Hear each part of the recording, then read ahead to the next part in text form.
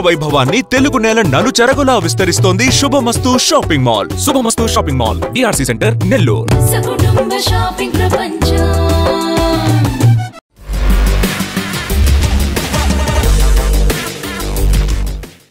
Hi viewers welcome to talent show ఇవాల్టి talent షోలో నేను మీకు పరిచయం చేయబోతున్న వ్యక్తి పేరు విశ్వనాథ అశోక్ వర్ధన్. ఆయన గూగుల్లో వర్క్ చేస్తారు. మౌంటనీరింగ్ ఆయన హాబీ సాహిత్యాన్ని పరిచయం చేస్తారు. మల్టిపుల్ టాలెంట్స్ ఉన్న ఆయనతోనే ఇవాళ మన టాలెంట్ షో. నమస్కారం సార్. నమస్కారం అండి. విశ్వనాథ అశోక్ వర్ధన్ గారు. అవునండి. మీ పూర్తి పేరు అదేనా? అంతే అండి. సార్ మీరు గూగుల్లో వర్క్ చేస్తారు. తర్వాత పర్వతాలు అధిరోహిస్తారు. ఇంకా సాహిత్యం. అంతే అండి. సాహిత్యం గురించి మాట్లాడతారు. మీరు రాయడం కూడానా? సాహిత్యం పరంగా ఆ కవితలు రాయడం. ఇప్పటి వరకు ఎక్కువ పుస్తకాలు చదువుతూ ఉన్నాను. చదువుతున్నారు. ఓకే. నేను మామూలుగా సాహిత్యం గురించి ఎక్కువ రాసేది అంటే ఫేస్బుక్లో నా బ్లాగ్లో రాస్తూ ఉంటాను. ఓకే. సార్ మీ కుటుంబ నేపథ్యం? నేను పుట్టింది పెరిగిందంతా బాలాజీ నగర్ నెల్లూరులోనేనండి నేను చదివింది ఫిఫ్త్ క్లాస్ వరకు బాలాజీ విద్యాలయంలో చదివాను. తర్వాత sixth to tenth SRK English medium school Krishnamurthy sir కింద చదివాను. ఆ తర్వాత eleventh twelfth Harnathapuram Narayana EAMCET క్యాంపస్లో చదివాను. నారాయణ స్టూడెంటా మీరు? నారాయణ స్టూడెంట్ అండి. ఓకే దెన్ టాపర్ అయి ఉంటారే అంటే అప్పట్లో ఎంసెట్ ర్యాంక్ వచ్చేసి థర్టీన్త్ వచ్చిందండి. Thirteenth rank state thirteenth rank అది SV university first Rajasekhar garu కూడా గోల్డ్ మెడల్ ఇచ్చారు. రైట్ ఎప్పుడు ఎడ్యుకేషన్ ఎప్పుడు కంప్లీట్ అయిపోయింది? Twenty eight to twenty twelve అయిపోయిందండి. Twenty twelve okay. ట్వంటీ ట్వెల్వ్లో గూగుల్లో డైరెక్ట్ క్యాంపస్ ప్లేస్మెంట్ వచ్చింది. ఇంజనీరింగ్ అయిపో అయిపోక ముందే బుక్ చేసేసుకున్నారా వాళ్ళు మిమ్మల్ని లేకపోతే అయిపోయాక? థర్డ్ ఇయర్లోనే వచ్చిందండి ప్లేస్మెంట్. ఆ తర్వాత కాలిఫోర్నియా హెడ్ క్వార్టర్స్కి రిలొకేట్ చేశారు ఇక్కడి నుంచి. డైరెక్ట్ ఇక్కడి నుంచి ఈ కాలిఫోర్నియా వెళ్ళిపోయారా? అవునండి. హైదరాబాద్ నుంచి? అండ్ నేను కాలిఫోర్నియాకి తీసుకుంది కూడా ఫస్ట్ ఫ్లైట్ అనమాట అప్పటివరకు ఫ్లైట్ ఎక్కింది లేదు. నాకు తెలిసి నేను ఎక్కింది ఏమన్నా ఉంటే సింహపూర్ ఏసీ ట్రైన్ అంతే అనమాట మేము మామూలుగా ట్రిప్స్ చేసినప్పుడు పేరెంట్స్తో కలిసి వెళ్ళడం. సో అది ఫస్ట్ ఫ్లైట్. అన్నీ ఫస్ట్ స్టెప్ లాగా అనిపించింది అనమాట పేరెంట్స్కి కానీ ఇంట్లో కానీ ఎవరు ఫారెన్కి వెళ్ళింది లేదు. యాక్చువల్గా అంటారు కదా నథింగ్ సక్సీడ్స్ లైక్ సక్సెస్ అని. మీకు అలా సక్సెస్ టపటపా వచ్చేసింది వెంట వెంటనే తెలియకుండా ఒకదాని తర్వాత ఒకటి. సక్సెస్ కన్నా మేజర్ హార్డ్ వర్క్. అదే యూఆర్ వర్కింగ్ హార్డ్ ఆ రిజల్ట్ అంటే ఆ- ఆ ఇయర్ కూడా బాగా కలిసి వచ్చింది అంటే అప్పుడే సాఫ్ట్వేర్ ఇంకా చాలా బాగా డెవలప్ అవుతుంది. హెచ్ వన్ బి లాటరీలు ఇలా ఏం లేవు. అండ్ అక్కడికి హైర్ చేసుకోవడం అనేది నిజంగా అదృష్టం అనే చెప్పాలి అప్పటికి. ఎలా ఉంటుంది? ఇక్కడ కంపెనీలకి అక్కడ కంపెనీలకి ఎలా ఉంటాయి? అంటే ఇప్పుడు చాలా మారిపోయాయి కానివ్వండి. టెన్ ఇయర్స్ బ్యాక్ నేను అక్కడికి మూవ్ అయినప్పుడు మొత్తం వచ్చేసి కొంచెం డిఫరెంట్గా ఉండేదన్నమాట వర్క్ కల్చర్ నాకు తెలిసినంత మటుకు ఇక్కడ సత్యం టీసీఎస్ ఇలాంటివే తెలుసు. ఇలాంటి నెల్లూరు నుంచి ఎవరైనా వెళ్ళారు. మా అయితే మైక్రోసాఫ్ట్ ఒకళ్ళు పనిచేస్తున్నారు హైదరాబాద్లో అని తెలుసు కానీ అంతకు మించి నాకు అక్కడ లైఫ్ స్టైల్ ఎలా ఉంటుంది అసలు ఏంటి అనేది తెలియదు ఏదో అప్పట్లో ఇంకా యూట్యూబ్ ఇవన్నీ కొత్తగా వస్తున్నప్పుడు అందులో ఒక రెండు వీడియోస్ చూసి ఓ క్యాంపస్ చాలా పెద్దదిగా ఉంది అని అనుకోవడం అదే లైఫ్ స్టైల్ అంతా హెచ్ఆర్ మేనేజర్ అంతా ఫ్రెండ్లీగా ఉన్నారు. అక్కడికి వెళ్ళిన తర్వాత చాలామంది ఇండియన్స్ కూడా ఉన్నారనమాట కంపెనీలో కొందరు బయట ఆఫీసుల్లో కొందరు. అలవాటు పడడానికి పెద్ద కష్టం పడలేదు. ఇప్పుడు కనుక చూసుకుంటే కాలిఫోర్నియా ఇంకొక చిన్న బెంగళూరు లాగా ఉందన్నమాట. మన వాళ్ళే ఎక్కువ ఉన్నారు. చాలా కంపెనీస్ వచ్చేసాయి. And similar like Bengaluru Hyderabad ఎన్ని కంపెనీలు ఉన్నాయి అక్కడ కూడా అంతే. మీరు మాట్లాడుతుంటే మీరు ఎన్నాళ్ళ మట్టి ఉన్నారు ఆ కాలిఫోర్నియాలో? కాలిఫోర్నియాలో ఇప్పటికైతే నైన్ ఇయర్స్ అవుతుంది. నైన్ ఇయర్స్ అవుతుంది కదా. అక్కడ వెళ్ళాక వెళ్ళిన తర్వాత మన భాష మారిపోదా? భాష మారదండి. ఎందుకంటే రోజు ఉండే లైఫ్ స్టైల్లో నా లైఫ్ స్టైల్ మటుకు అంత పెద్ద చేంజ్ ఏం కాదు. అంటే మామూలుగా అనుకుంటాం అమెరికాకి వెళ్తే మ- మనకు సినిమాలో చూపించినట్టు బార్లు పబ్బులు అని. కానీ అలా ఏం ఉండదండి. మీ లుక్ వైజ్ కూడా మీరు చాలా సింపుల్గా ఉన్నారు. ఇండియాలో ఉన్నట్టే ఉన్నారు. తొమ్మిదేళ్ళు మీరు కాలిఫోర్నియాలో మీ లైఫ్ స్టైల్ ఎక్కడ చేంజ్ అవ్వలేదు ఎందుకని?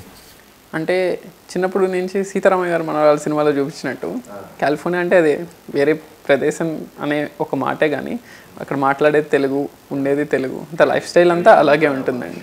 మన వాళ్ళంతా అక్కడికి వెళ్ళిపోయి దాన్ని ఇండియన్ చేసేసారా? మన వాళ్ళంతా వెళ్ళి చేశారు. అంటే చాలా డిఫరెంట్ పర్సనాలిటీస్ అక్కడికి వెళ్తారు కదా. కాకపోతే మోస్ట్ ఆఫ్ ద సర్కిల్ నేను ఏర్పరచుకున్న సర్కిల్ అంతా తెలుగులో ఉండేవాళ్ళు అంతా ఉండేది. నార్త్ ఇండియన్ ఫ్రెండ్స్ ఉన్నారు. కాకపోతే ఎక్కడ అంటే డీవియేషన్ లేకుండా మామూలుగా ఉండేటట్టే అండి. మీరు చిన్నప్పటి నుంచి ఎడ్యుకేషన్లో టాప్లోనే ఉన్నారు. ఓకే పర్వతాలు అధిరోహించాలని కానీ దీని మీద ఆసక్తి ఎప్పుడు కలిగింది? నేను బీటెక్ సెకండ్ ఇయర్ చదువుతున్నప్పుడు నేను చాలా హెవీ వెయిట్ ఉండేవాడిని అండి లైక్ ఇంటర్లో బాగా అంటే ఇక్కడ నారాయణ కాలేజ్లో చదివేటప్పుడు ఎప్పుడు morning six to evening six just తినడం చదువుకోవడం తప్ప ఇంకో పెద్ద అవిగేషన్ ఉండకపోవడంతో నేను నాకు ఫుడ్ మీద ఉన్న ఇంట్రెస్ట్ మీద కూడా చాలా హెవీ వెయిట్ అయిపోయాను. సో నాకు బీటెక్ సెకండ్ ఇయర్లో ఒక చిన్న కిడ్నీ స్టోన్ ఆపరేషన్ జరిగింది. నేను ట్రిపుల్ ఐటీ హైదరాబాద్లో ఉన్నప్పుడు. అప్పుడు అక్కడ యశోద హాస్పిటల్లో జరిగింది అప్పుడు అక్కడ డాక్టర్ చెప్పారు ఇంకా ఎప్పుడు ఇలా జరగకూడదు అని చెప్పారు. నేను అప్పుడు డిసైడ్ చేసుకున్నాను ఇంకా లైఫ్లో ఇంకో హాస్పిటల్కి అంటూ వెళ్ళకూడదు అని. So body is like the biggest gift. So ఇంకా దాని యాంగిల్లో చూసుకొని అప్పటి వరకు అసలు పీటీ క్లాసులకు కూడా వెళ్ళేవాడిని కాదు. Morning six o'clock PT class అంటే ఎగ్గొట్టేసి ఏదో అటెండెన్స్ మినిమం రీచ్ అయితే చాలు అనుకున్నాను. ఆ తర్వాత నుంచి ఎవ్రీ డే వెళ్ళడము. Fifteen twenty minutes thirty minutes చిన్నగా వన్ అవర్ స్ట్రిక్ట్గా ఫాలో అవడంతో మొత్తం డైట్ కూడా మారిపోయింది. అప్పటి వరకు పిజ్జాలు అంటే కొత్తగా జాయిన్ అయింటాం కదా ఇంజనీరింగ్ కాలేజ్లో అది చాలా ఎగ్జైటెడ్గా తింటాం. ఆ తర్వాత నుంచి మారింది. ఇంకా అది కాలిఫోర్నియాకి వెళ్ళిన తర్వాత మొత్తం ఇంకా గూగుల్లో మా ఆఫీస్లో జిమ్ ఇవన్నీ ఉంటాయన్నమాట. సో ఎలాగో బ్యాచిలర్ ఒంటరిగా ఉంటాము. ఆఫీస్ అయిపోయిన తర్వాత ఇంకా ఏం చేయాలి అనే ఆలోచన ఉండేదన్నమాట. సో ఆ ఫిట్నెస్ అనేది చిన్నగా డెవలప్ అవుతూ వచ్చింది. సో అందులో ఒక మౌంటైనరింగ్ అంటే దానికి ముందు చాలా స్టెప్స్ ఉంటాయి. ఇండియాలో ట్రెక్కింగ్ అంటాం అక్కడ హైకింగ్ అంటాం. సో అక్కడ మామూలుగా సాటర్డే సండే జస్ట్ హైకింగ్కి వెళ్ళే ఫ్రెండ్స్ గ్రూప్స్ ఉండేవాళ్ళు అనమాట సో వాళ్ళతో కలిసి ఆ లోకల్గా హైక్స్ ఉండే. ఓకే ఐదు కిలోమీటర్లు ఆరు కిలోమీటర్లు ఫైవ్ మైల్స్ సిక్స్ మైల్స్ ఇలా అంటూ ఉంటాం అనమాట సో వెళ్ళి ఫస్ట్ హైక్ వెళ్ళినప్పుడు అయితే ఓ అంత మొత్తం అపసోపాలు పడిపోతూ ఇంకా నా వల్ల కాదు.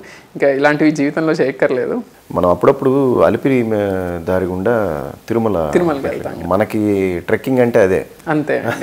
దానికే చాలా కష్టం అనిపిస్తుంది. కంటిన్యూస్గా నడవలేం. ఏది మెట్లుంటే కూడా అంటే క్లియర్గా మెట్లుంటే అది ఎక్కడమే కష్టం. ఇంకా పర్వతాలంటే అది మెట్టు ఫుట్ కంప్లీట్ రెస్ట్ చేయడానికి కూడా ఉండదు కదా. ఉండదండి. మామూలుగా ఏంటంటే మా మనం ట్రైన్ అయ్యే ఏరియాస్లో కూడా ఎప్పుడూ స్నో మీద ట్రైన్ అవ్వము. మామూలుగా మనకు ఉండే హిల్స్ అలా వెతుక్కోవాలన్నమాట. So every year every weekend so ప- ఈ ఇయర్కి ఈ గోల్ ఉంది. సో ఈ వీకెండ్స్ నేను ఇది చేస్తాను అని అనుకుంటే అలా చిన్నగా హైకింగ్ గ్రూప్స్తో పరిచయం అయింది. అప్పుడు అంతా చిన్న చిన్న హిల్స్ గ్రీన్ హిల్స్ అక్కడ ఇక్కడ ఉన్నట్టే అక్కడ అక్కడ ఉన్నాయి. ఇంకా తర్వాత ఓకే ఎడ్యుకేషన్లో నాకు ఎంసెట్ అయిన తర్వాత ఐఐటి గోల్ ఎలాగో ఓకే ఈ హైకింగ్స్ చేస్తున్నాను ఒక టూ ఇయర్స్ చేశాను. ఇప్పుడు నేను నెక్స్ట్ స్టెప్ ఏంటి అంటే ఓ మంచున్న పర్వతాలు ఎక్కడము. అప్పుడు ఇంకా హిమాలయాస్ గురించి చదవడము వాటి పట్ల ఇంకా ఇంట్రెస్ట్ పెరగడము. సో అలా నెక్స్ట్ స్టెప్ అనమాట హైకింగ్కి next step mountaineering and mountaineering start చేసిన తర్వాత ఇంకా రోప్స్ వస్తాయి. రోప్స్తో ఎక్కాలంటే మన క్లైంబింగ్ నేర్చుకోవాలి. ఇప్పుడు యూఎస్లో క్లైంబింగ్ పెద్ద స్పోర్ట్ ఇప్పుడు ఇండియాలో కూడా బాగా డెవలప్ అవుతుంది. రాక్ క్లైంబింగ్ అని చెప్తారు. నేర్పిస్తారు. రాక్ క్లైంబింగ్ ఉంటుంది. అండ్ వింటర్ సీజన్లో అయితే స్కీయింగ్ అని చేస్తారు.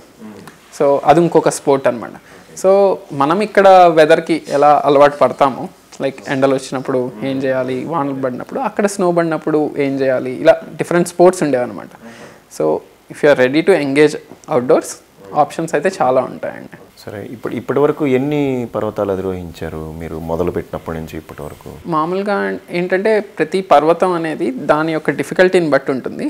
మామూలుగా కాలిఫోర్నియా సౌత్ అమెరికా ఇండియా అన్నీ కలిపి ఒక లెవెన్ బిగ్ మౌంటైన్స్ అని చెప్పుకోవచ్చు. అండ్ చిన్న చిన్న మౌంటైన్స్ ఉంటాయి. అంటే వీటిని ట్రైనింగ్కి వాడుతుంటాము. Like forty fifty mountains. అంటే చిన్న మౌంటైన్స్ అంటే less than twelve thousand feet అలా ఉంటాయి అనమాట పదివేల నుంచి పద్నాలుగు వేల అడుగులు ఎక్కువ కాలిఫోర్నియాలో ఉండేది. అంతకు మించి ఎక్కువ ఉండవు. సో అలాంటివి ఇంటి దగ్గర ఉండేవి వీకెండ్స్ వెళ్ళేవి ఇలాంటివి ఎక్కువ ఎక్కాము. ఇంకా పెద్ద trip for example Himalayan expedition plan చేయాలంటే అది ఒక ఇయర్ లాంగ్ ప్రిపరేషన్ అనమాట సో ఇక్కడ మనకు మే జూన్లో సమ్మర్ కాబట్టి అక్కడ జనవరి నుంచి ప్రిపేర్ అయ్యి మే జూన్కి వచ్చి ఎక్కి ఆ తర్వాత వెళ్ళడం. సో ఒక ఇయర్కి ఒక పెద్ద హిమాలయన్ కొండ ఎక్కాలి.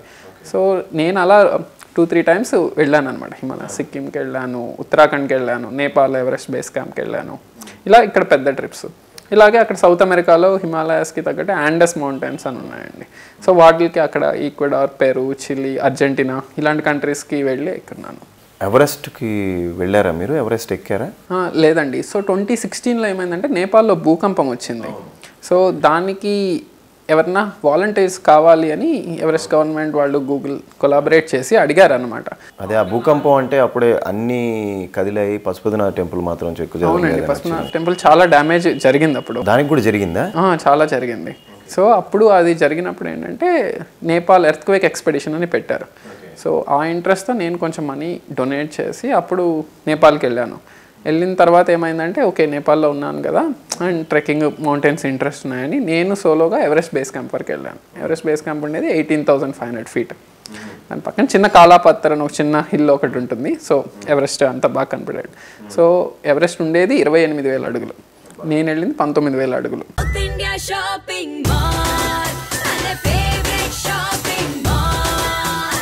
సౌత్ ఇండియా షాపింగ్ మాల్లో వెడ్డింగ్స్ అండ్ ఫెస్టివల్స్. పెళ్ళిలకు మరియు పండుగలకై సరికొత్త డిజైన్లలో పట్టు చీరలు మెన్స్ ఎథ్నిక్ వేర్ మరియు కిడ్స్ వేర్. అతి తక్కువ ధరలకే కాంచీపురంలో సొంత మగ్గాలపై తయారు చేసిన పట్టు చీరలు కంచి ధరలకే. ఏ ఇంట శుభకార్యమైన సంప్రదాయ వస్త్రాభరణాలకు తొలి అడుగు ఇక్కడే. South India shopping mall Madras bus stand centre GT road Nellore. Okay. First మీరు అధిరోహించిన పర్వతం ఏది? అది కాలిఫోర్నియాలో వచ్చేసి పద్నాలుగు వేల అడుగులు ఉందండి. దాని పేరు మౌంట్ శాస్తా అని. Mount Shasta. Mount Shasta. అదేంటి మన తెలుగు పేరులాగా సంస్కృతం పేరులాగా? అలాగే ఉంది. నేను కూడా ఫస్ట్ టైం చూసి అబ్బో ఇదేదో పేరు బాగుంది అని అనుకున్నాను అనమాట సో అది పద్నాలుగు వేల అడుగులు. ఆ పేరుకి ఏదన్నా స్టోరీ ఉందా? స్టోరీ అయితే ఏం లేదు. అది ఒక స్టాండ్ అలోన్ వాల్కెనో అంటారు అనమాట దాన్ని. అంటే దాని చుట్టూ ఇంకో ఇంకేం పర్వతం ఉండదు. సో దాని కిందకి ఏడు వేల అడుగుల దగ్గరికి వచ్చేస్తే ఒక చిన్న టౌన్ లాగా అంతా మారిపోయి ఉంటుంది. మన హిమాలయాస్ లాగా చాలా పర్వతాలు కనెక్టెడ్గా ఉండవు. సో స్టాండ్ అలోన్ వాల్కెనో అది కొన్నేళ్ళ ముందు ఎరప్ట్ అయింది కూడా అనమాట అది వరకు అయితే వాల్కనో నుంచి దాంట్లో నుంచి లావా వచ్చేది ఇప్పుడు రావట్లేదు. రావట్లేదండి. సో అది ఫస్ట్ టైం వెళ్ళినప్పుడు ఫస్ట్ టైం వెళ్ళినప్పుడు ఎక్కలేకపోయాను. పన్నెండు వేల అడుగుల నుంచి ఓకే ఇంకా చాలు అనుకొని దిగిపోయాను అనమాట ఆ. తర్వాత మళ్ళీ ఒక సిక్స్ మంత్స్ బాగా ట్రైన్ అయ్యి దాన్ని ఎక్కాను. అది ఇప్పుడు అది ఎలా అయిందంటే మనం హిమాలయాస్ లాంటి పెద్ద మౌంటైన్స్ గురించి ఆలోచిస్తే ఇది ఒక చిన్న ట్రైనింగ్ గ్రౌండ్ లాగా మారిందన్నమాట. అంత ఈజీ అయిపోయింది. అంత ఈజీ అవ్వలేదు కానీ ఒక నాలుగైదు సార్లు ఎక్కడంతో ఒక పర్వతాన్ని అర్థం చేసుకున్నట్టు మనం ఫిజిక్స్ అయితే ఎలా అర్థం చేసుకుంటామో మౌంటైనరింగ్ కూడా ఒక సైన్సే అనమాట స్నో అనేది ఎలాగో. సో ఆ పర్వతాలు అధిరోహిస్తున్నప్పుడు ఎలా సార్ మనం ఏదైనా ప్రమాదం జరిగితే? ఉంటాయండి ప్రమాదాలు అన్నీ ఉంటాయి. కాకపోతే ఏంటంటే over a period of time technology బాగా డెవలప్ అయింది. ఒకప్పుడైతే వెదర్ ఇలాంటివి చెప్పేవాళ్ళు కాదు. స్నో క్వాలిటీ ఎలా ఉంది అని చెప్పేవాళ్ళు కాదు. షూస్ క్వాలిటీ చాలా పూర్గా ఉండేది. ఆ యూస్ చేసే ఎక్విప్మెంట్ లైక్ ఐసాక్స్ ఇలా పట్టుకొని ఎక్కుతుంటారు కదా అది బాగుండేది కాదు. రోప్స్ బాగుండేవి కాదు. ఇలా మన చేతిలో ఉండే ఫ్యాక్టర్స్ అవి. ఇంకా నేచర్ చేతిలో ఉండేవి ఏంటి అంటే అసలు ఆ మౌంటైన్ ఎలా ఉందని స్టడీ చేయాలి. సో మనం ఒక మౌంటైన్ గురించి చదివేటప్పుడు ఇట్స్ లైక్ ఫిజిక్స్లో ఒక సబ్జెక్ట్ తీసుకొని చదివినట్టే అన్ని యాంగిల్స్లో నుంచి. ఈజీ ఎలివేషన్స్లో ఉండే ఉంటాయి. మౌంటైన్స్లో స్నో పగిలిపోయి క్రివాసెస్ ఉంటాయి. అవలాంచెస్ వస్తాయి. సో ఎప్పుడు ఏది వస్తుందని చదువు కూడా అదొక సబ్జెక్ట్ అనమాట సో వర్క్ అయిపోయిన తర్వాత ఇంకా ఒక మౌంటైన్కి వెళ్ళాలంటే ముందు దాని గురించి బాగా తెలుసుకోవాలి. లేకపోతే ప్రమాదకరం జరుగుతుందండి. మీకు ఒక చిన్న ఎగ్జాంపుల్ చెప్పాలంటే నెల్లూరు నుంచి మళ్ళీ మస్తాన్ బాబు గారు అని ఉన్నారు. ఆయన టాప్ మౌంటైనీర్ అన్నమాట. మన నెల్లూరు తరపు నుంచి మనకి ఫస్ట్ హైలైట్ అయ్యే పేరు. హైలైట్ అయ్యే పేరు. నేను ట్వంటీ ఫిఫ్టీన్లో చేసేటప్పుడు ఆయన ఇలా చేస్తున్నారు అని కూడా తెలిసిందనమాట. అప్పటికి నాకు అంత తెలీదు. సో ఆయన అన్ని పర్వతాలు చాలా ఫాస్ట్గా ఎక్కారు. లైక్ సెవెన్ సబ్మిట్స్ అని ఉంటాయి. ప్రతి కాంటినెంట్లో ఒక్కొక్క సబ్మిట్ మన ఏషియాకి ఎవరెస్ట్ ఎలాగో సౌత్ అమెరికాకి ఒకటి అమెరికాకి టెనాలి ఇలా ఉన్నాయన్నమాట. సో అలాంటివన్నీ ఎక్కుతూ ఆయన తన బ్యాడ్ లక్ వల్ల నేచర్తో చనిపోయారు. బట్ అలా నేచర్ న్యాచురల్ కాన్సిక్వెన్సెస్ కొన్ని ఉంటాయి but over a period of time ఏంటంటే రిసోర్సెస్ ఎక్కువ అయ్యాయి సో దానికి వెళ్ళి వెళ్ళాలి అని అంటే మనం ఎక్కువ చదువుకోవాలి. దాని అదొక సపరేట్ సబ్జెక్ట్ లాగే. అంతే. మామూలుగా ఏదో ఆడుకోవడానికి వెళ్దాము. అది లిమిటెడ్ హైట్ అది limited హైట్ ఆ రిస్క్ లిమిటెడ్ రిస్క్ అది. ఏది మీరు అన్నట్టు కాలిఫోర్నియాలో పన్నెండు వేలు పద్నాలుగు అదంతా థ్రెట్ ఏమి ఉండదండి థ్రెట్ ఈ మంచు ప్రదేశాలకు వెళ్ళినప్పుడు మాత్రం వెళ్ళినప్పుడు ఉంటుంది. ఎందుకంటే పద్నాలుగు వేలు దాటిన తర్వాత మన ఆక్సిజన్ తీసుకునే కెపాసిటీ తగ్గుతుంది. సో దానికి తగ్గట్టు బాడీని బాగా ట్రైన్ చేయాలన్నమాట. గ్రౌండ్ లెవెల్లో కానీ మనం ఉండే లొకేషన్స్లో కానీ ఇదంతా ఫిట్నెస్. అప్పుడు అన్నీ మెర్జ్ అవుతాయి. లైక్ ఒకప్పుడు జిమ్కి వెళ్తే బాడీ బిల్డ్ చేసి ఆర్నాల్ స్క్వాజ్ నగర్ లాగా మజిల్స్ పెంచుకుందాం అని ఉండేది. కానీ ఇప్పుడు గోల్ అది కాదు. అంత బాడీ ఉన్నా కానీ నేను ఓకే ఇప్పుడు నెక్స్ట్ ఇరవై ఐదు మైళ్ళు పరిగెత్తాలి. ఒక మ్యారథాన్ పరిగెత్తాలి. ఇరవై ఆరు మైళ్ళు పరిగెత్తాలంటే దానికి ట్రైనింగ్ డిఫరెంట్గా ఉంటుంది. సో దానికి తగ్గట్టు బాడీ మారాలి.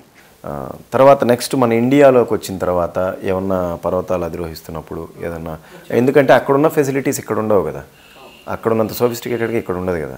ఇక్కడ ఏదన్నా మీకు ఇన్సిడెంట్స్ ఏమైనా ఎదురైనాయా? నేను ట్వంటీ ఎయిటీన్లో ఇండియన్ మౌంటైనరింగ్ ఫెడరేషన్ వాళ్ళు పిలిచారు. నేను అక్కడ కాలిఫోర్నియాలో ఉన్నప్పుడు నేను నా క్లైంబింగ్ పార్ట్నర్ ఉంటే ఇక్కడ first ascent of a mountain in Uttarakhand అని పిలిచారు అనమాట దాని మౌంటైన్ పేరు దంగ్తల్ అది ఉండేది ఇరవై ఒక్క వేల అడుగులు. అంటే అది ఇప్పటివరకు ఎవరు ఎక్కలేదు. సో అది ఎక్కడానికి వాళ్ళు ఒక టీం ఫామ్ చేస్తున్నప్పుడు పిలిచారు. సో ఆ ఇరవై ఒక వేలు అడగ ఎక్కాలి అని అంటే పంతొమ్మిది వేల అడుగుల మౌంటైన్ ఇంకొకటి ఉంది దాని పక్కనే. సో ఈ రెండు ఎక్కాలి అని మేము అక్కడి నుంచి ఒక నెల పాటు మా ఫుడ్ అంతా ప్యాక్ చేసుకొని ఇక్కడికి వచ్చామన్నమాట. సో అదేంటంటే మే అది ఒక ఇరవై రోజుల ఎక్స్పెడిషన్ అది. సో ఇరవై రోజులు అంటే మీరు అర్థం చేసుకోవచ్చు మొత్తం వెదరు ఎలా మారుతుంది అండ్ ఇరవై అసలు ఆ ప్లేస్కి నందాదేవి నేషనల్ పార్క్ అని ఉంది. అది రీచ్ అవ్వడానికి ఒక ఏడు రోజులు పడుతుంది. సో మేము ఆ రోజులకి వెళ్ళి ఎక్కాము. ఫస్ట్ మౌంటైన్ ఎక్కాము. నైన్టీన్ థౌసండ్ మౌంటైన్ ఎక్కాము. అండ్ అంత బాగా జరిగింది. ఆ తర్వాత వెళ్ళినప్పుడు ఈ నెక్స్ట్ మౌంటైన్ ఎక్కాలి అని అన్నప్పుడు మా క్లైంబింగ్ పార్ట్నర్కి తనకు ఆక్సిజన్ ఎక్కువ అందట్లేదు అనమాట so it's like a risk and weather కూడా చాలా మారుతుండింది. ఎంత కోల్డ్గా మారిపోతుండింది అని అంటే మేము ఒక మూడు నాలుగు గ్లౌజులు వేసుకోవాల్సి వచ్చింది. సో ఆ టైంలో ఎలా అసెస్ చేస్తాము? అండ్ గుడ్ థింగ్ ఏంటంటే మేము సొంతగా వెళ్ళాం. మాకంటూ గైడ్స్ అంటూ లేరు. So we have to depend on ourselves అంటే మన ఇప్పటివరకు చదువుకున్న ఎడ్యుకేషన్ మీద. సో మేము ఆ టెంట్లో తనకి స్టమక్ అప్సెట్ అవ్వడము ఇలా జరుగుతాయి అనమాట అంటే ఒక ప్రాబ్లమే కదా. ఆక్సిజన్ అందకపోతే ఇంక బాడీలో చాలా డిఫరెంట్ రియాక్షన్స్ ఉంటాయి. సో తనని సేఫ్గా ఉంచడము ఎలా? ఓకే టెంట్లో తనని సేఫ్గా ఉంచి అప్పుడు మేము ముందుకెళ్ళడం మొదలుపెట్టాం. మేము ముందుకెళ్ళడం మొదలు పెడితే చిన్న చిన్న అవలాంచెస్ వస్తున్నాయి అనమాట అంటే స్నో బ్రేక్ అయిపోవడం మౌంటైన్ మీద. సో బ్రేక్ అయిపోవడం అంటే ఇంకా ఇట్స్ లైక్ ఇంకా ఆ సిచ్యువేషన్లో ఎవరేం చేయలేదు. సిగ్నల్స్ ఉండవు. మాకున్న రేడియోస్ పనిచేయవు. ఇలా ఉండిందనమాట మిగతా ముగ్గురం స్టార్ట్ అయ్యి వెళ్ళినప్పుడు. సో మేము అది ఆల్మోస్ట్ ట్వంటీ వన్ థౌసండ్ అయితే ట్వంటీ థౌసండ్ ఫైవ్ హండ్రెడ్ వరకు వెళ్ళాము. ఇంకా ఫైవ్ హండ్రెడ్ ఫీట్ దగ్గర ఇంకా వెదర్ అంతా వైట్ అవుట్ అయిపోయింది. అంటే ఎదురుగా నాకు రోప్కి టై అయిన మనిషి కూడా కనపడలేదు. సో ఇంకా ఓకే ఈ రోజుటికి ఇంతవరకే అని చెప్పి సేఫ్గా నావిగేట్ చేసుకుంటూ వచ్చాం. అది ఎలా అంటే మేము నైన్కి స్టార్ట్ చేసి లెవెన్కి అవ్వగొడదాము ట్వెల్వ్కి అయిపోతుంది అనుకుంటే ఈవినింగ్ వచ్చేటప్పటికి టెన్ అయింది. సో ఇలాంటి ఎక్స్ ఇలాంటి ఎక్స్పీరియన్స్లు చాలా చిన్న చిన్న ఉండేవి కానీ పెద్ద పర్వతాలకు వెళ్ళినప్పుడు అది మొత్తం మారిపోతుంది అనమాట అంటే ఇంకా వెయిట్ చేయాలి ఓకే నేచర్ ఎప్పుడైతే సహకరిస్తుందో అప్పుడు రావాలి అనేది. అది వన్ ఆఫ్ ద ఎక్స్పీరియన్స్ అండి అది. కానీ సార్ అంత ఈజీయా అంటే ముందు మీకెవరు దారి వేయరు. మీరే దారి ఏర్పరచుకుంటూ వెళ్ళాలి. వెళ్ళాలండి. అంటే ఒక మనం దారి ఏర్పరచుకుంటూ వెళ్ళాలంటే పైకి ఎక్కాలంటే ఏదైనా రోప్ వేసి ఈ ఎక్కాలి కదా? అది మీరు ఎలా దాన్ని అక్కడ స్టిక్ చేస్తారు? మామూలుగా ఏంటంటే ఇప్పుడు ఎవరెస్ట్ లాంటి పర్వతం ఎక్కేటప్పుడు ఏంటంటే అది చాలా ఫేమస్ పర్వతం కాబట్టి ఇప్పుడు షెర్పాస్ అని ఉంటారు. వాళ్ళు ఆల్రెడీ రోప్ కట్టేసి ఉంటారు అనమాట సో దానికి చాలామంది షెర్పాకి ఒక ఎండ్ ట్రై చేసి రోప్కి ఒక ఎండ్ ట్రై చేసి వీళ్ళు ఒక ఎండ్ ట్రై చేసి వాళ్ళు పుల్ చేస్తుంటే వీళ్ళు ఎక్కుతారు.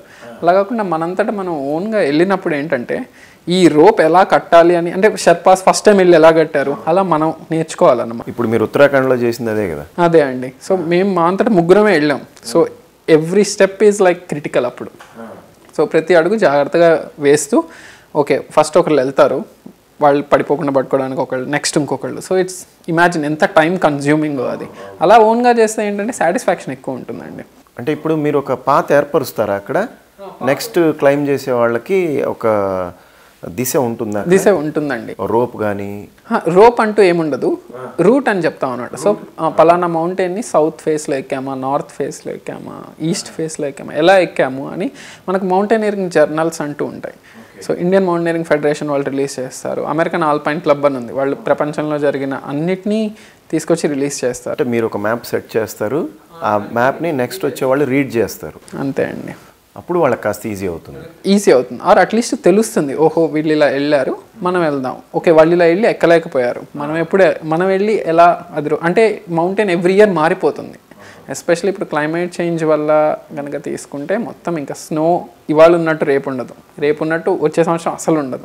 సో మౌంటైన్ షేపే మారిపోతుందండి. దాదాపు మీరు ఎన్ని అధిరోహించుంటారన్నారు? దాదాపు పదకొండు. పదకొండు టాప్.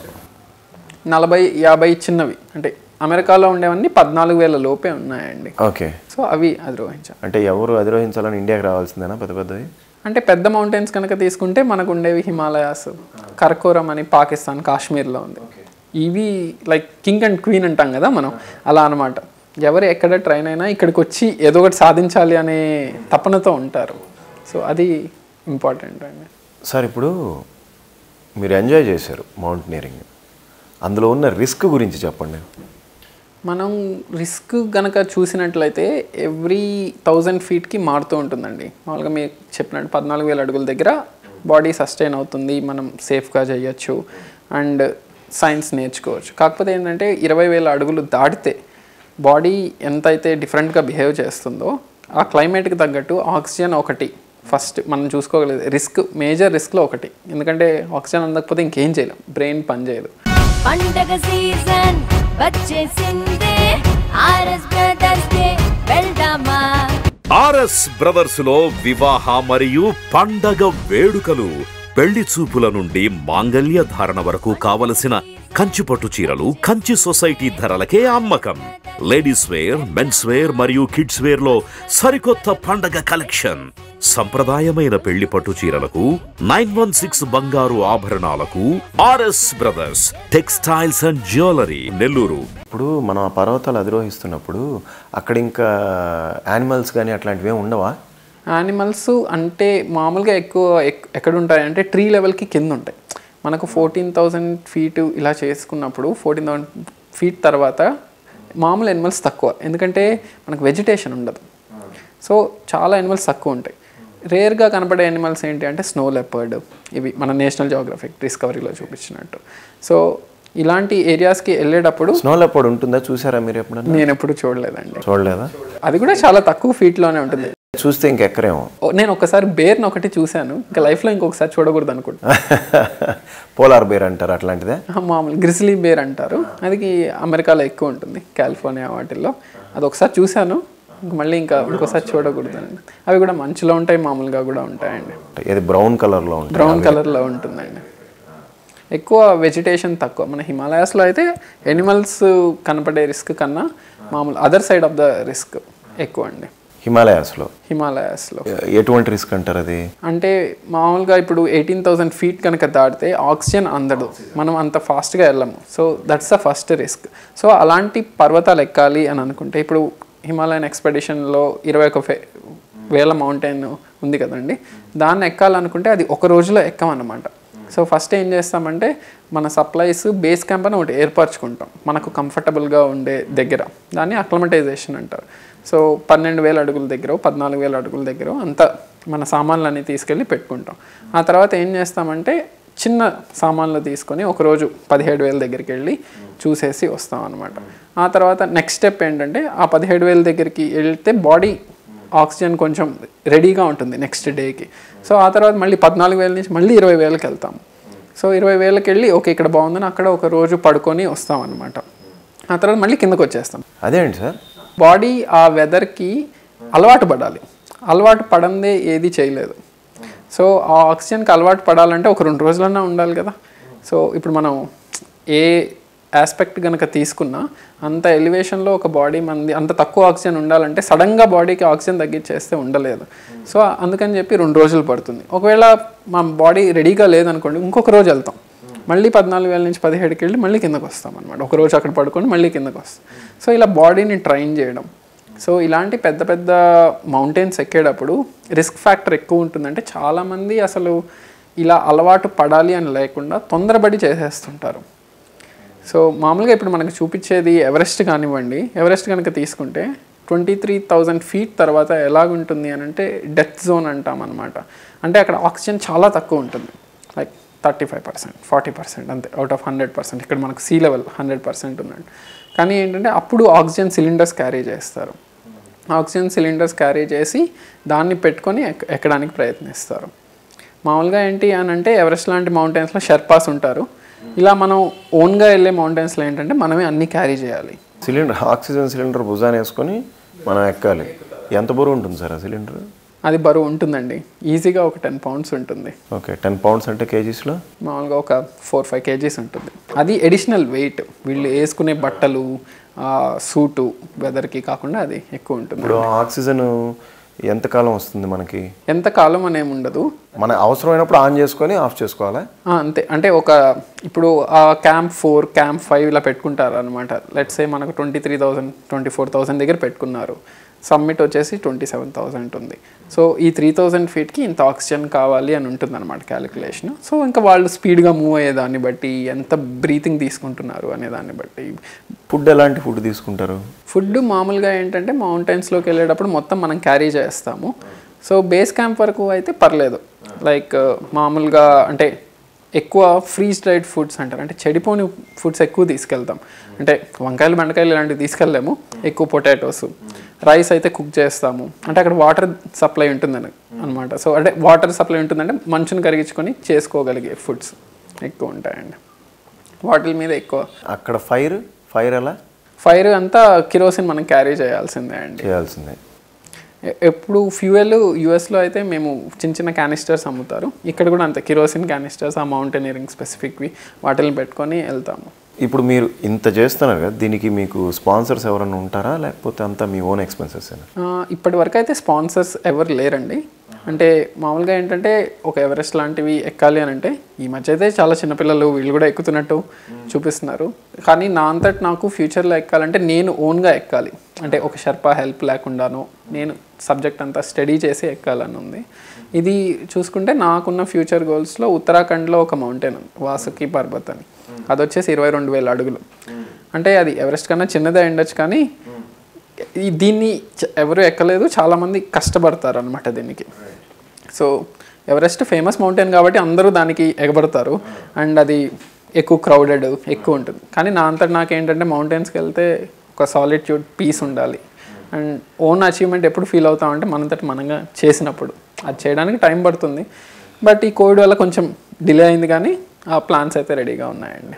ఇక మీరు గూగుల్లోనే వర్క్ చేస్తున్నారు. గూగుల్లోనే ఉన్నాయండి ఆ గూగుల్లో మీరు చూసిన చేంజెస్ మీరు చేరినప్పటికీ ఇప్పటికీ? చాలా మార్పులు వచ్చాయండి. యాజ్ ఎ కంపెనీ గూగుల్ కూడా చాలా గ్రో అయింది. నేను చేరినప్పుడు దాదాపు ముప్పై వేల ఎంప్లాయీస్ ఉండేవాళ్ళు అప్పట్లో. ఇప్పుడు కంపెనీ చాలా పెద్దదైపోయింది. మా ప్రోడక్ట్స్ కూడా పెరిగాయి. మీరు కనుక చూసినట్టయితే గూగుల్ యూట్యూబ్ గూగుల్ మ్యాప్స్ కానీ ఇవన్నీ గూగుల్ కిందకే వస్తాయి అనమాట ఇప్పుడు ఆల్ఫాబెట్ అనే పేరుతో పెట్టాము.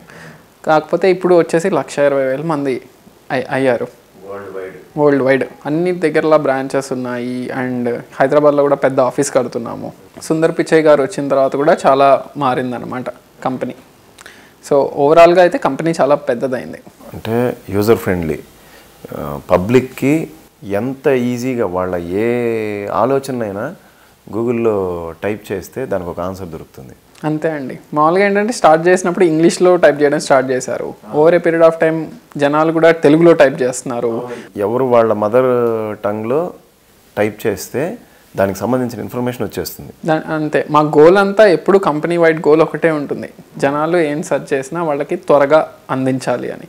వాళ్ళు ఏ లాంగ్వేజ్లో సెర్చ్ చేసినా ఎలా సెర్చ్ చేసినా మేము హ్యాండిల్ చేయగలిగేటట్టు ఉండాలి అనేది మా గోల్ అండ్ ఎస్పెషల్లీ నేను పనిచేసేది ఏంటంటే గూగుల్ సెర్చ్ ఇంజన్లో మీరు కనుక గమనించినట్లయితే రోజు గూగుల్ సెర్చ్ లోగోస్ కూడా లోగోస్ మారడం దగ్గర నుంచి కొత్త ఇన్ఫర్మేషన్ ఇవ్వడం వరకు అన్నీ మా టీమే చూసుకుంటుంది అనమాట ఎలా వర్క్ చేస్తారు సార్ దానికి?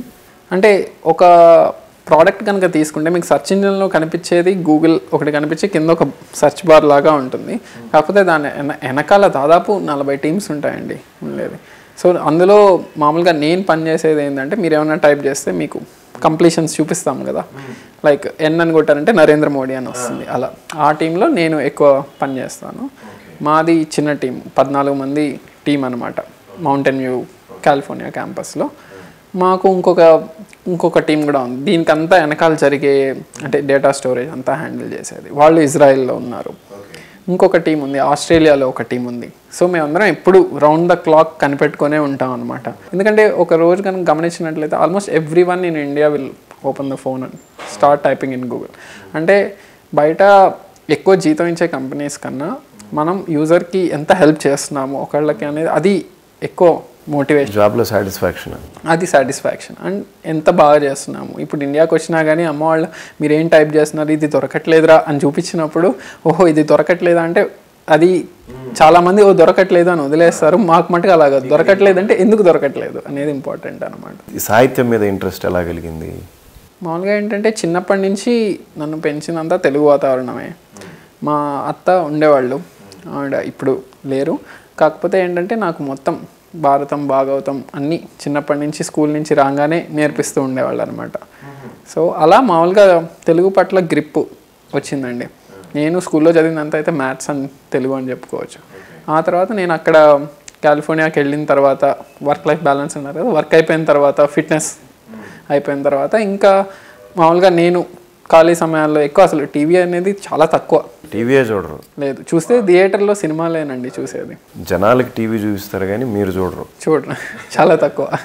సో చూస్తే థియేటర్లో సినిమా చూసేసి వచ్చేస్తాను అంతే. నాకు ఆ మూడు గంటల్లోనే అయిపోతుంది. కాకపోతే అక్కడికి వెళ్ళిన తర్వాత ఎక్కువ టైం ఉండేది. అండ్ మా నాన్నగారు ఎక్కువ ఒరేషియస్ రీడర్ అనమాట తన అన్ని ఎండ్ టు ఎండ్ ఎక్కడ రామాయణం భారతం మామూలుగా సాహిత్యం అన్నీ ఇలా చెప్పి నాకు అప్పుడు పరిచయం చేశారు. విశ్వనాథ వారి సాహిత్యం పరిచయం చేశారు.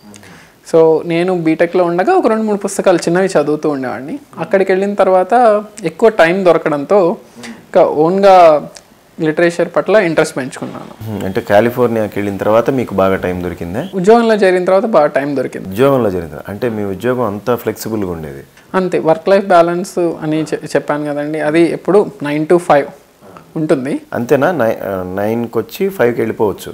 నైన్కి నైన్కి వచ్చి ఫైవ్కి వెళ్ళిపోవచ్చు. ఒక పది నిమిషాలు ఎక్స్ట్రా ఉంటే మిమ్మల్ని తోసేస్తారు బయటికి? లేదు పది నిమిషాలు కావాలంటే నేనే ఎక్స్ట్రా ఉంటాను వర్క్ అవసరం అయితే అవసరం అయితే కానీ ఈ నైన్ టు ఫైవ్ చేసేటప్పుడు మటుకు ఆ నైన్ టు ఫైవ్ ఇంకేం చేయం. అలా సాహిత్యం అక్కడికి వెళ్ళాక సాహిత్యం పట్ల ఇంట్రెస్ట్ ఎక్కువ టైం దొరికింది. అండ్ మామూలుగా నేను కూడా ఫేస్బుక్ ఇవి చూస్తున్నప్పుడు అయితే ఎక్కువ నాకు తెలిసినవి రెండు యాంగిల్స్ ఒకటి పర్వతాలు రెండు పుస్తకాలు. అంతే. మా ఇంట్లో కూడా మొత్తం పెద్ద లైబ్రరీ ఉంది. లైక్ మొత్తం విశ్వనాథ వారి నవలా సాహిత్యం యాభై ఎనిమిది పుస్తకాలు ఉంటే అన్నీ ఉన్నాయన్నమాట. అందులో నేను దాదాపు ఇరవై ఐదు చదివాను. అండ్ వాటి గురించి బుక్స్ రివ్యూస్ గురించి పెడుతూ ఉంటాను అప్పుడప్పుడు. అండ్ ఫేస్బుక్లో సాహిత్యం గ్రూప్లో పరిచయమైన వాళ్ళు ఉన్నారు సార్ ఇప్పుడు ఒక కామన్ ఆడియన్గా నాకు సాహిత్యం అంటే ఏంటి? మామూలుగా సాహిత్యం అంటే ఏంటి అని అంటే ఒక లైఫ్ స్టైల్ని పరిచయం చేయడం అనే చెప్పుకోవచ్చు మనం. ఒకప్పుడు ఏంటంటే చాలామందికి టీవీలు ఇవి లేనప్పుడు మా చిన్న చిన్న మ్యాగజైన్స్లో కానీ వచ్చేటప్పుడు అందరు చదువుతుండేవాళ్ళు. అంటే లైఫ్లో జరిగే ఎక్స్పీరియన్సెస్ అన్నిటినీ రిఫైన్ చేసి మనకు చూపిస్తుండేవాళ్ళు ఆ రైటర్స్. అంటే ఎవరో ఒకరు కష్టపడితే సమాజంలో అది తెలుస్తుండేది. అండ్ అప్పట్లో ఎక్కువ చదువుతుండేవాళ్ళు. ఇప్పుడు కూడా చదువుతున్నారు.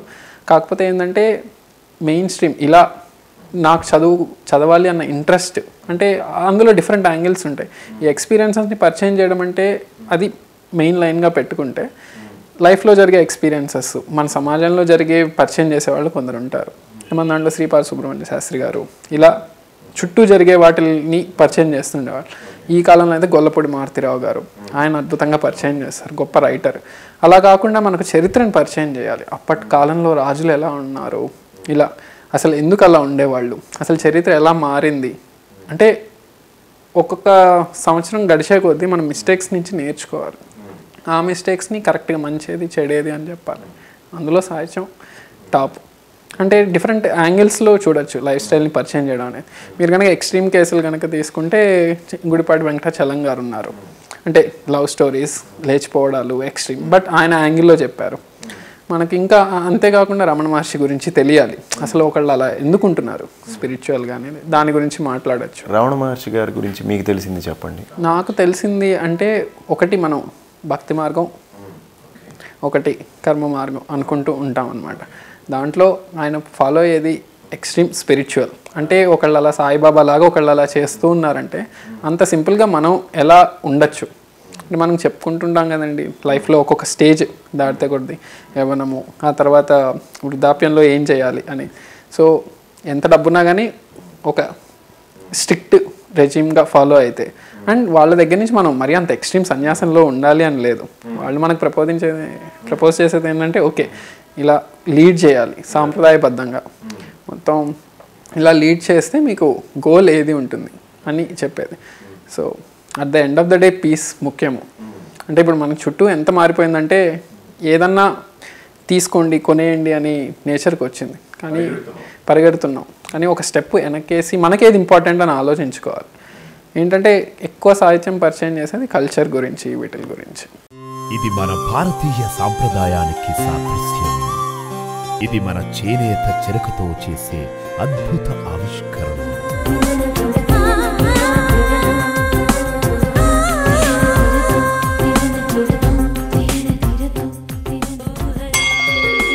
మాస్టర్ వీవర్స్ మరియు మగ్గం ధరలకే కంచిపట్టు చీరలు ఫ్యాక్టరీ ధరలకే ఫ్యాన్సీ శారీస్ అండ్ చుడిదార్స్. మహిళలకు ప్రత్యేక వస్త్రాలయం Kanchi Kamakshi. Magunta layout mini bypass Nellore. సాహిత్యం పరంగా మీరు రాసినవి ఏమన్నా మీరు చెప్పదలుచుకునేవి ఏమన్నా మీకు నచ్చినవి ఏమన్నా మాతో షేర్ చేసుకుంటారు?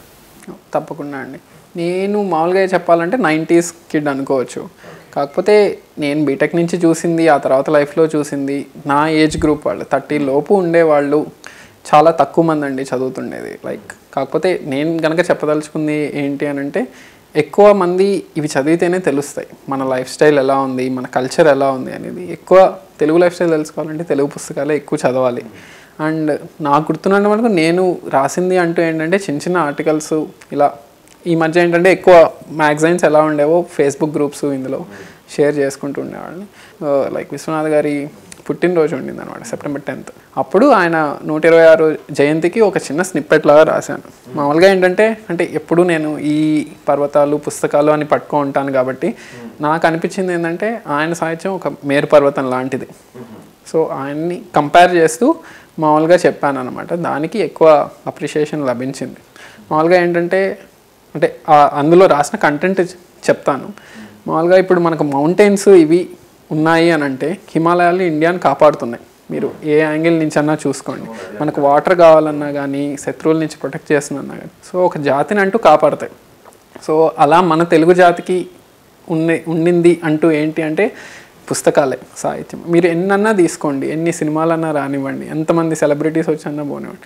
ఎప్పటికీ నిలిచిపోయేది గ్రంథాలే.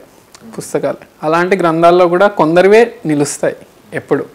అండ్ నాకు నాకు తెలిసి నా దృష్టిలో మనకు ఉన్న వారు కవి సమ్రాట్ విశ్వనాథ్ సత్యనారాయణ గారు.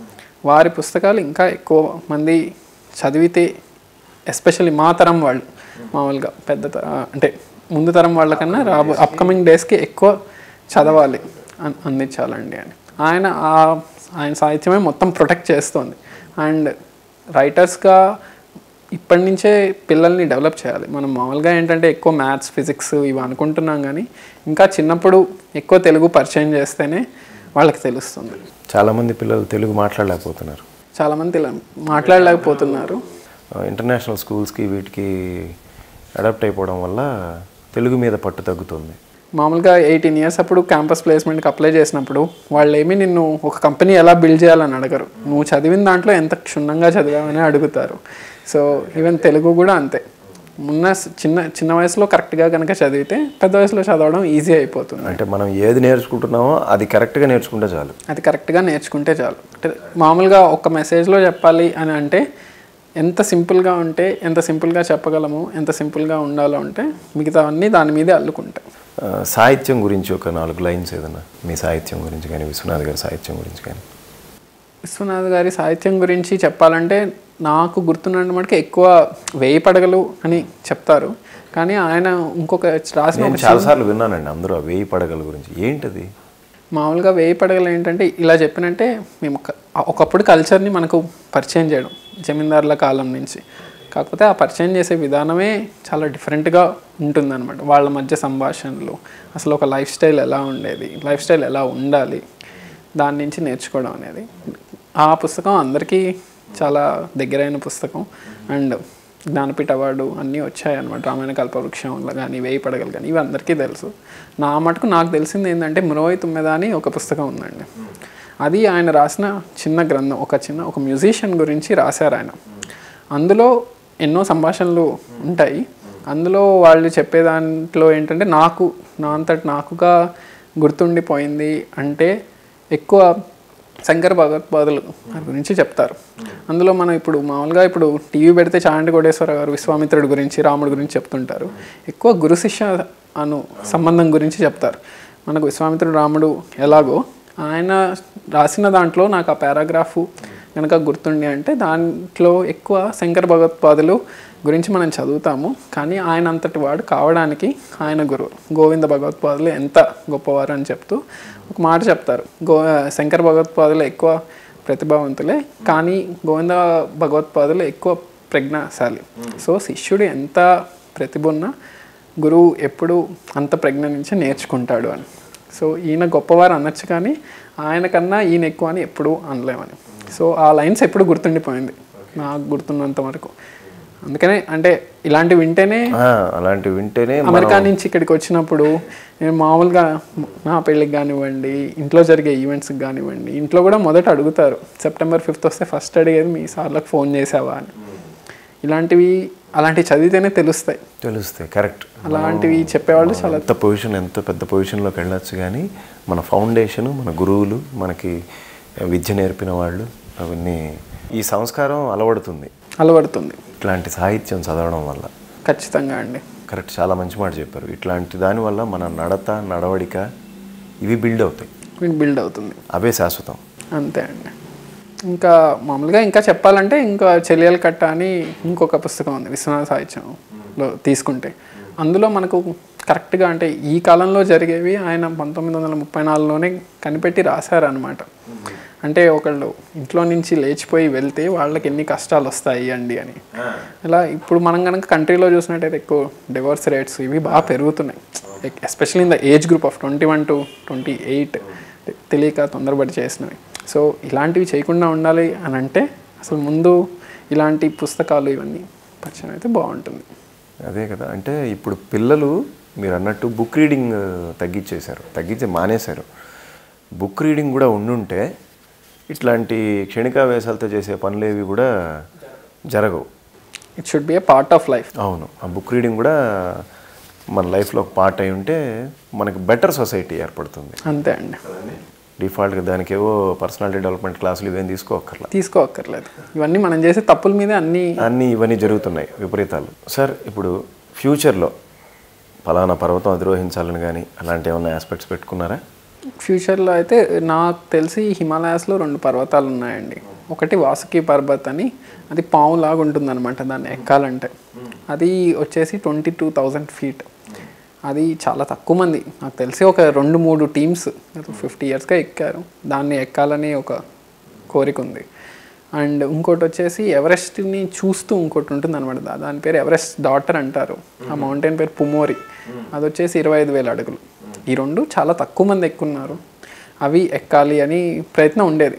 ట్వంటీ ఎయిటీన్ ఉత్తరాఖండ్కి వచ్చి వెళ్ళిన తర్వాత అంతా ట్రైనింగ్ అంతా ప్రిపరేషన్ అవుతుంటే ట్వంటీ నైన్టీన్ నుంచి మనకు ప్రపంచం ఎలా మారిందో అందరికీ తెలుసు. సో ఇంకా మేబీ నెక్స్ట్ టూ త్రీ ఇయర్స్లో వీటి మీద ఎక్కువ ట్రైన్ అవ్వాలి అని ఉండేది. ఒకటి మౌంటైన్స్లో అలా ఫ్యూచర్ గోల్స్ లాగా అనుకుంటే పుస్తకాల్లో కూడా గోల్స్ ఉన్నాయి. ఇప్పటివరకు నేను ఎక్కువ చదివాను. దాదాపు చాలా పుస్తకాలు ఇవి చదివాను. నాకేంటంటే తెలుగు పాడ్కాస్ట్లు కానీ ఇలా సపరేట్గా అంటే ఆర్టికల్స్ రాయడం కానీ ఎక్కువ మామూలుగా ఫేస్బుక్లో కూడా చాలామంది అడుగుతూ ఉంటారు. ఫర్ ఎగ్జాంపుల్ ఆంధ్రజ్యోతి వాళ్ళు అడిగారు అనమాట నవ్య ఎడిటర్ అడిగారు అనమాట ఒకసారి పంపించమని. ఇలా ఇంకా ఎక్కువ రాసి పంపించాలని ఎక్కువ తెలుగు సాహిత్యం ఎక్కువ పరిచయం చేయాలి అని. పర్వతాలు అధిరోహిస్తూ సాహిత్యం మీద కాన్సన్ట్రేట్ చేస్తూ టెక్నాలజీని ప్రజలందరికీ అందిస్తూ ముందుకు సాగాలని మనస్ఫూర్తిగా కోరుకుంటున్నాను సార్.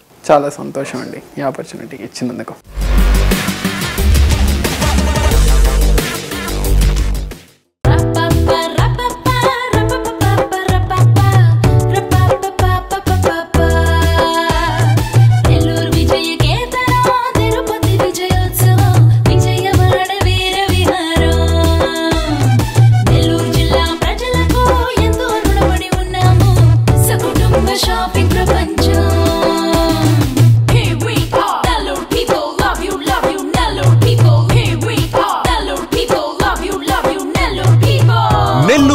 వైభవాన్ని తెలుగు నేల నలుచెరగులా విస్తరిస్తోంది Shubhamasthu shopping mall. Shubhamasthu shopping mall. DRC centre Nellore. ప్రపంచం.